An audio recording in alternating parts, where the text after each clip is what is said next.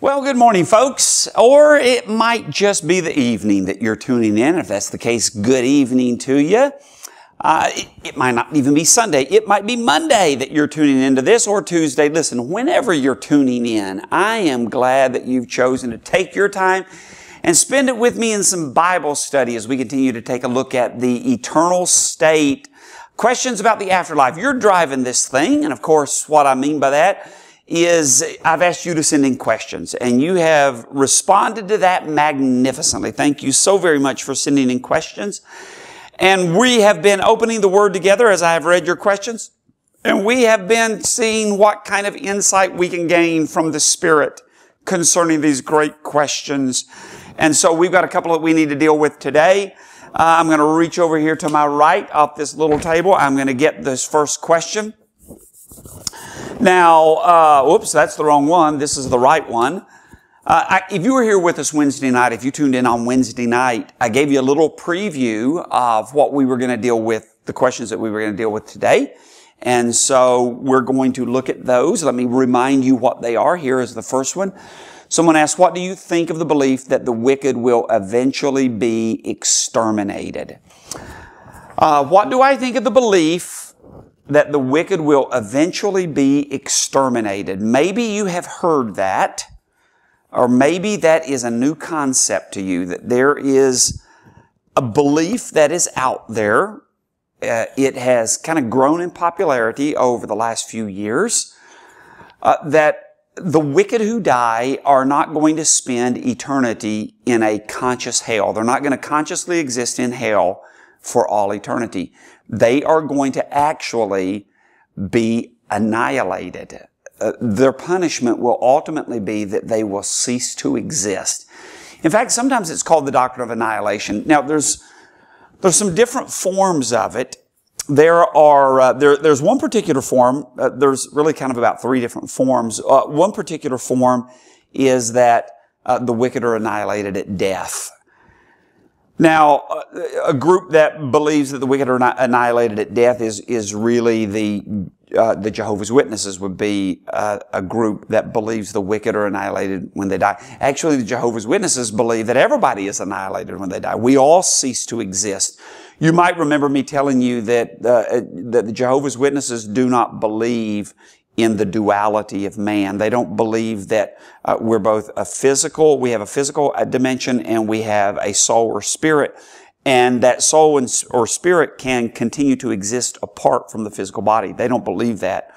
Uh, they believe man's nature is uh, is really kind of monolithic. Uh, that is the the soul that, that just one. There is no separate soul and spirit that exists independently.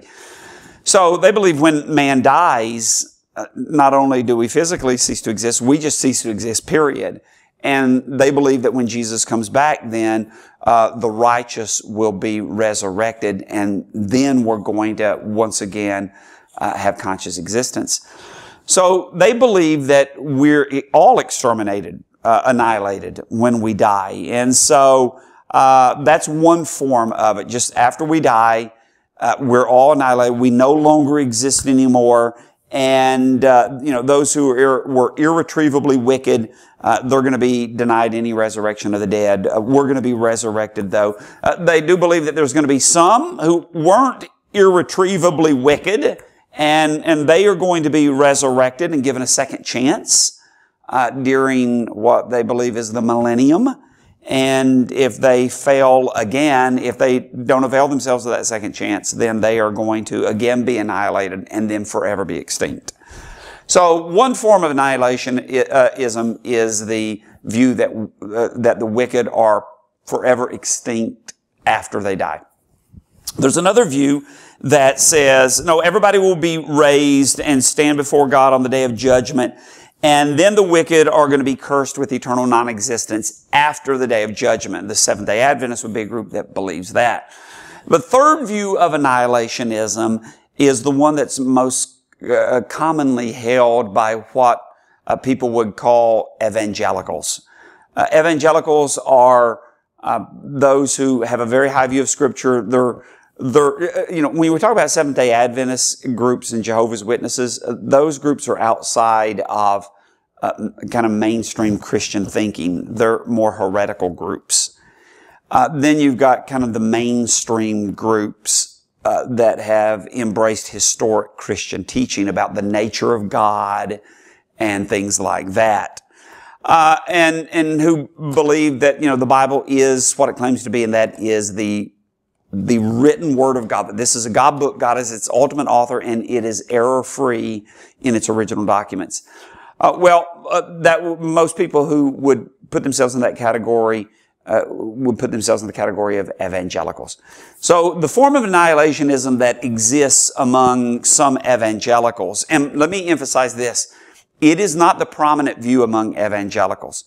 Uh, the, the view, the prominent view, the most dominant view among uh, mainstream Bible believing uh, people is the traditional view. And the traditional view is that the wicked spend eternity uh, in a Christless hell, that they consciously exist in a, a, place of terrible torment that the Bible calls hell. That's still the overwhelmingly dominant view among Bible believing uh, people.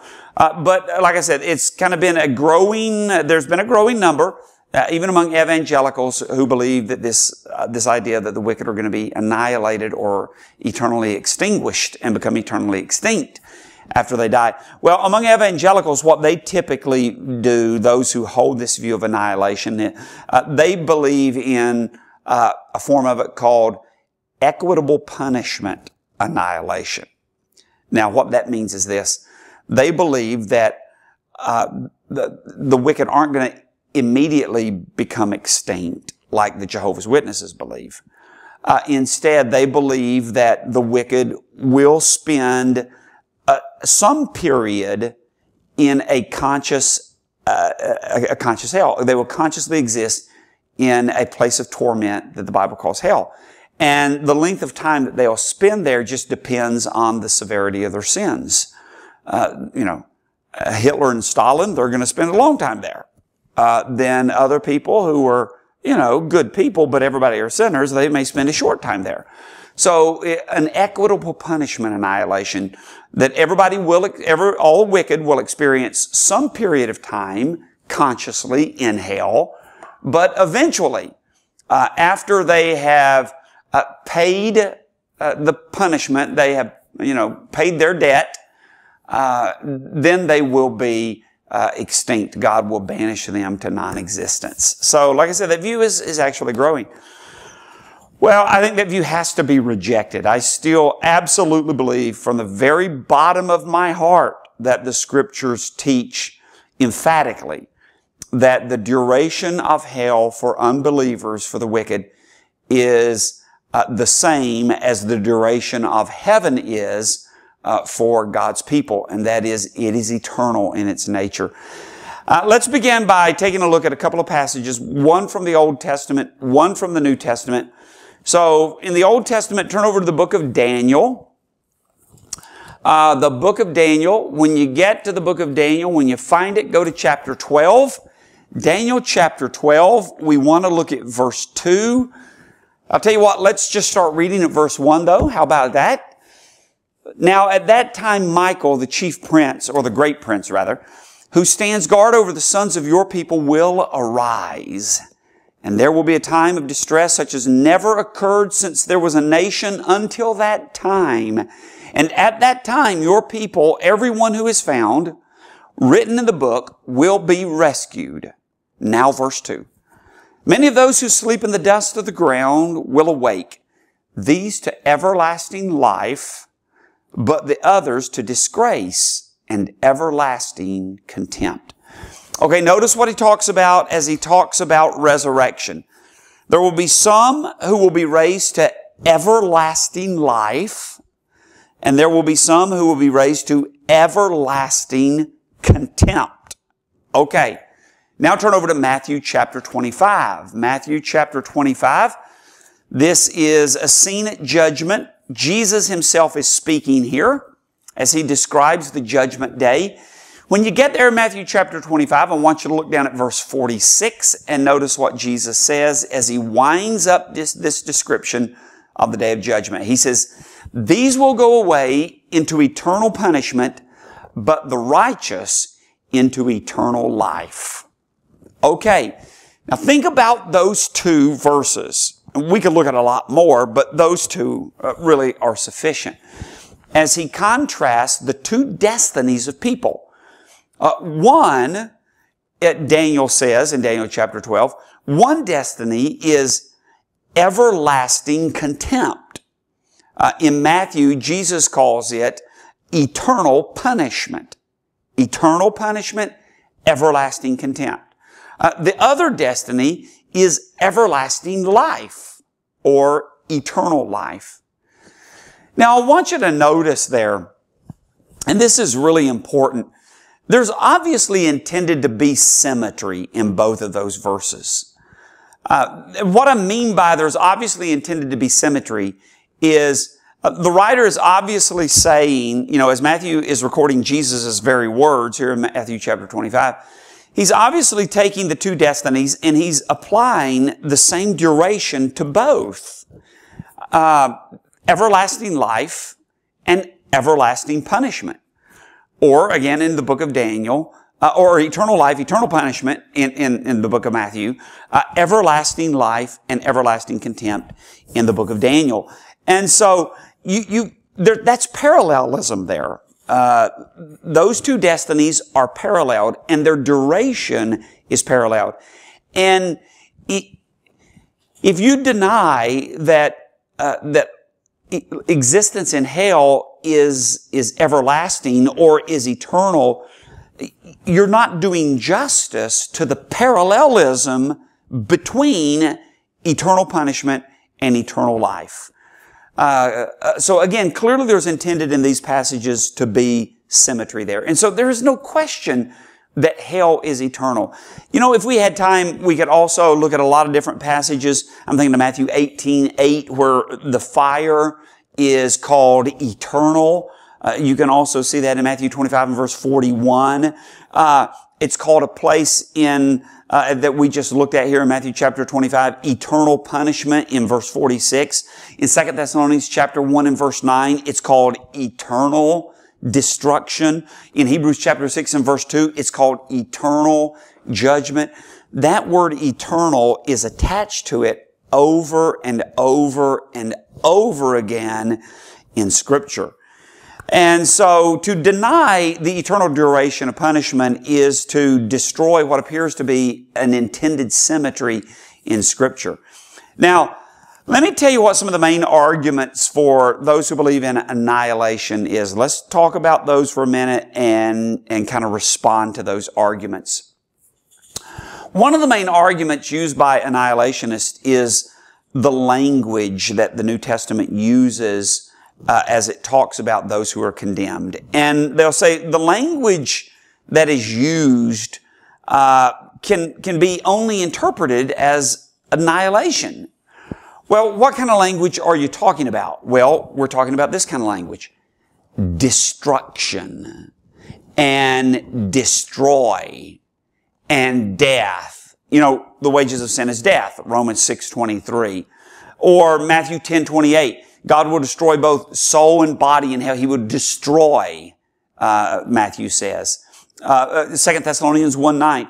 They'll pay the penalty of eternal destruction. So destruction and destroy and death. Uh, and so they say those words can only describe extinction. Those words can only describe annihilation. Well, uh, uh, that's simply not true. That is just not fairly representing those biblical terms. You know, the reality is most terms in scripture uh, can have a variety of meanings. And it's not just most terms in scripture, it's, it's most terms, period, in any language. And we've talked about that before. Uh, almost every word has a, a to one extent or another has a wide lexical range. That is, it has more than one meaning. Some words may have a couple, some words may have 10 different meanings, and you have to determine its meaning by its context. Well, we know the same thing about these words that are used to describe punishment, our eternal punishment. Words like destroy and words like death and words like, uh, like destruction. Uh, one of the things that we know about these words, for instance, is that they also have the connotation of ruin, uh, not annihilation. Uh, they have the connotation of lo- uh, being lost or being spoiled or being wasted. These words are often used uh, in, senses that uh, annihilation clearly isn't in the picture. Uh, let me give you a couple of for instances. I want you to turn to Matthew chapter 9. Matthew chapter 9. And uh, let's take a look at this. Matthew chapter 9. When you get there, look at verse 17, Matthew chapter 9, verse 17. This is when Jesus talks about putting new wines in old wineskins. And he says, Nor do people put new wine into old wineskins, otherwise the wineskins burst.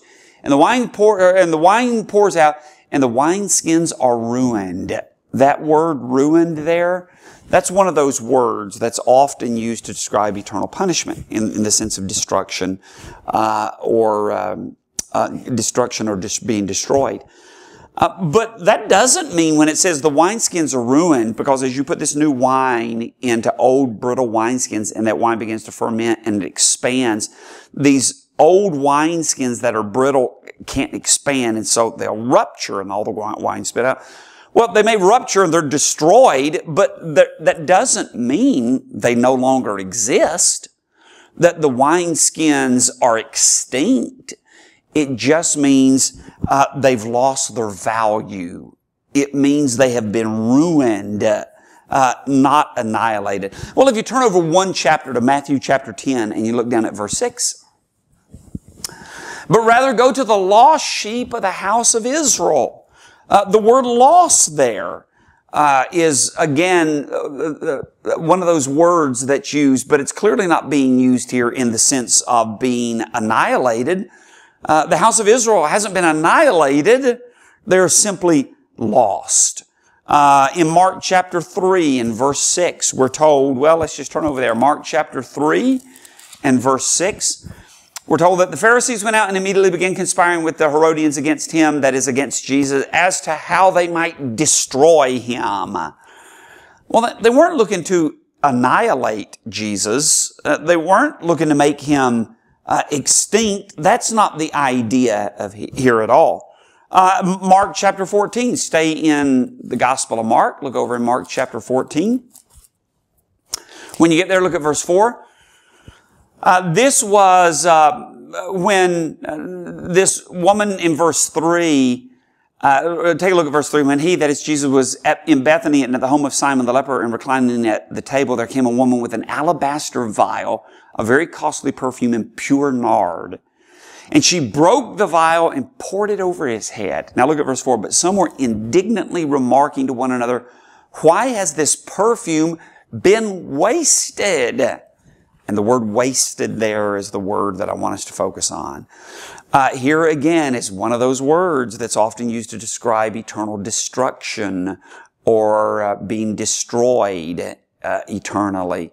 Uh, but here it certainly doesn't mean that the perfume was annihilated. Uh, it's wasted. And so, we have to understand these words. So when someone who believes in annihilation says, well, it has to be annihilation because look at these words that describe uh, our e- eternal uh, punishment. It's words like destruction and destroy. That can only mean annihilation. And, and it doesn't mean that. Uh, it, it just simply refers to uh, something has, that has lost its meaning, it's lost its peace, it's lost its value, it's lost its usefulness. It doesn't necessarily mean to pass out of existence. And, uh, and so, uh, I, I, don't think that's a strong argument that destruction, uh, terms of destruction and destroy to describe eternal punishment has to mean annihilation. It simply doesn't. Those words are often used without the concept of annihilation being present. Uh, another argument that annihilationists use to try to support their view uh, is that it's uh, it, it it violates God's nature. Now, let me say something about that. Um, what do they mean that it violates God's nature? Well, they say God's nature is love. And, and so uh, the concept of eternal punishment is inconsistent. It's in conflict with the concept of love. God is good and God is loving. And, and since God is good and He is loving, there is no way that He can eternally, forever and ever continue to punish someone.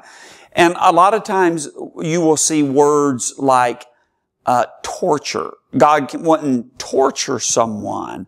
Uh, sometimes you'll see words like uh, uh, cruel and sadistic. That when you punish someone without end, uh, that's just cruel and sadistic. We don't ever punish someone without end. And so they said this just violates the nature uh, of God's love. Okay. Well, what do we say about that? Uh, does it violate the nature of God's love? And, and the answer to that is simply this. As we think about the nature of God, um, the, the first thing that I would say is to those who believe in the equitable punishment form of annihilation. That is, those who believe that all, all lost people will experience uh, some form of agonizing punishment before they're annihilated. And I would say, well, listen, if, if you're just, if you are rejecting uh, the concept of, of eternal punishment based on God's love, then why do you even accept, uh, you know, a, temporary torture chamber if you believe that God is love? If God is love, uh, why would he torture anyone if that's the language that you want to use? Uh, that's why a lot of people who just focus on the love of God and, and, simply describe God's nature in terms of love, that's why they are, are, what's called universalists. They don't even believe that, you know, that God will punish anyone. God's going to save everyone because that's what love does. God is love. But here's the main thing, uh, main response to that. Uh, the main response to that is God's love is not the only aspect of His nature. It is absolutely true that God is love. And, and it's that nature of God that makes Him long to save us. Uh, it's that aspect of God's love that delays the coming of Jesus. He loves us so much. He doesn't want anyone to be eternally separated from Him. And so he longs uh, for us to be, he longs to forgive. He longs to extend grace and mercy because he's love. That is one aspect of his nature. But also, uh, it, there is another aspect to God's nature, and that is holiness and wrath. And maybe we need to remind ourselves of that. Turn over to Hebrews chapter 12. Hebrews chapter 12, when you get there, look at verse 29. Hebrews chapter 12 and verse 29 uh, where the Hebrew writer describes God this way. Our God is a consuming fire. God is a consuming fire. Look at Romans chapter 11. Notice what Paul says about God. Romans chapter 11, look down at verse 22. Romans 11, 22. Behold the kindness and severity of God. To those who fail, severity. But to you, God's kindness if you continue in His kindness. Otherwise, you also will be cut off. And so the kindness of God and the severity of God. Uh, he is a God of love and He is a God of holiness. And His wrath is a part of His holy nature. He has this deep-seated, deep-settled hatred of sin and He has to punish it because he is infinitely holy. Turn over to James chapter 4. Look at James chapter 4. When you get there, look at verse 12. James chapter 4 and verse 12. James says, There is only one lawgiver and judge, the one who is able to save and to destroy. But who are you to judge your neighbor? There's one who saves and there is one who destroys. Uh, look at Hebrews chapter 10. We already been to the book of Hebrews. But let's go back to the book of Hebrews, this time to chapter 10. Look at verse 30 and 31. For we know him who said, vengeance is mine. I will repay. And again, the Lord will judge his people. Um, and take a look at verse 31. Let's continue. It is a terrifying thing to fall into the hands of the living God. That statement is made right on the heels of God as judge. And so the idea that uh, that eternal punishment is inconsistent with the love of God uh, simply is, a uh, you know it, it, it it's someone who is mistakenly focused on one aspect of God's nature. We cannot forget that God is not only love, but He is holiness, holy as well. And His holiness has to punish. Uh, an, another uh, argument that says, uh, that, that really uses God's nature to try to support annihilationism is that uh, not only is God a God of love, He can't punish eternally because love doesn't do that, but He is perfect justice. God is infinitely just and eternally punishing someone is simply not just. Uh, it is not a just and righteous expression of His holy wrath. You know, that would mean, you know, uh, if, if this were true, then, then think about it. You know, even sinners who were really good people and tried to reflect God's character, even though they weren't conscious of it, but they uh, were were kind and compassionate and and helpful and sensitive to hurting people. They just didn't. They just refused to accept Christ, but they uh, lived a, a, a generally moral life. And and compare them with the the butcher Adolf Hitler.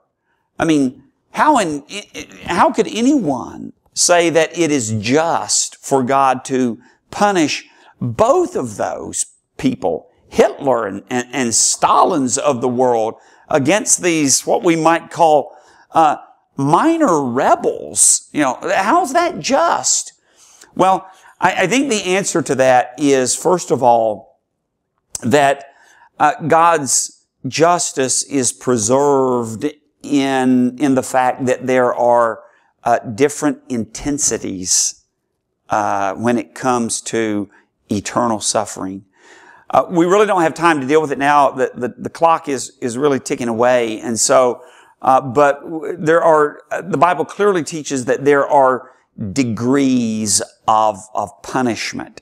And so that certainly satisfies God's justice. I understand the whole argument that all sinners, you know, mild rebels and then the Hitlers and Stalins of the world. How could justice be served by both being punished equal? Well, the Bible clearly teaches that some are, are beaten with few stripes and some are many. And so, uh, that certainly preserves, uh, the, the, the, the, justice of God. Uh, but, uh, but then the, a lot of times people will respond that, uh, you know, uh, any kind of suffering is, is contrary to God's justice. Um, any kind of eternal suffering, even if it's mild eternal suffering, okay, someone may say, I'll give you that. I'll give you that there are degrees of punishment. But even if it's a more mild form of eternal punishment, it's still eternal. And so even a mild form of eternal punishment would certainly seem to be unjust. Uh, well, I think the response to that is uh, we need to allow God to determine what is just, and and we don't need to dictate to Him what is just. God is perfect justice, and if God deems uh, eternal punishment for all sin to be just, then we can't question the justice of that. Now, there's a couple of other things to th- think about though here. And that is, is this. First of all, keep in mind that, you know, God doesn't send anyone to hell, uh, uh, just arbitrarily. God doesn't do that. Uh, God gives us the freedom to obey. God gives us free will. Uh, uh, sin and rebellion uh, is is our choice. Uh, he's provided Christ to pay for all of our sins. And, and, and so no one can say that uh, we, we suffer the eternal consequences of sin, um, you know, that, that, God is responsible for that. Uh, ultimately, I'm responsible for that. Um, I, you know, God warned me. And, and as we preach, we, we preach that warning. And, and, uh, we, we, uh, we let people know that it's their choice. God wants them to be saved. And so no one goes to hell, uh, by God's arbitrary, uh, decision. And then, of course, again, just keep in mind what I said. We have to allow the re, uh, for the reality of degrees of punishment uh, as well. Uh, so, uh, all in all, I, I, know there's more that we could say on this, and I, I, really wish we had a little bit more time to to speak on this. But I, I think we've kind of dealt with it sufficiently. So, what do I think about? Let me sum it up about the idea that the wicked will be eventually exterminated. I, I, don't think it's a biblical position at all. Uh, again, we looked at only two passages that show what seems to be intentional symmetry between uh, the two eternal states. Uh, everlasting contempt and everlasting life in Daniel 12:2. And then, of course, in Matthew 12:46, eternal punishment and eternal life. Uh, the duration of punishment uh, is, uh, is the same in those verses uh, as the duration of life. And so I, I, don't think we do justice to that intentional symmetry that's presented if we reject uh, the uh, eternal duration uh, of hell. And, and again, they're trying to use, uh, and then the argument that uses words like destroy and destruction has to mean annihilation. No, we looked at that and that's simply not true. Those words are often used to describe uh, being ruined and losing their usefulness and their purpose. So annihilation certainly isn't in view. And then the argument that uh, that eternal punishment some way violates God's love. Well, that's uh, simply not true uh, because God's nature is bigger than love. That's just one side of His nature. His other side of His nature is holiness, and uh, and the notion that it violates God's justice. Uh, and, and the answer is, to that is no, it doesn't violate God's justice. Let God, who is infinitely just, determine what is just. But keep in mind the degrees of reward and punishment uh, that are there. And the fact that God doesn't just send anybody arbitrarily there, He's warned us. He has sent uh, Christ to be the means of deliverance from there. And more than anything, He wants us to stay out of there. Uh, his love wants to spare us. His justice demands that sin be punished. Okay, good question. I was hoping that we could get to a second question today, but I was afraid that this question needed a little bit of expanded discussion. And so we're going to continue this Wednesday night. I got a couple of more questions that have been sent in. The next one we're going to deal with is 1 Thessalonians chapter 4, the Bible says in verse 16 of chapter 4 that we're going to be caught up together with Jesus in the air when he comes back. Our bodies are going to be raised and we're going to forever be with the Lord. Take a look and see what that means. Well, listen, thanks for joining us today. I'm glad that you were here. Uh, I have been so enjoying this. I'm so glad that you've been responding like you have by sending in the questions. And if you have any more, it's still not too late to send them in. Any questions at all on our eternal state? I'll be glad to take a look at that. Uh, again, stay safe. You. I love you. Hope to see you soon. Bye bye.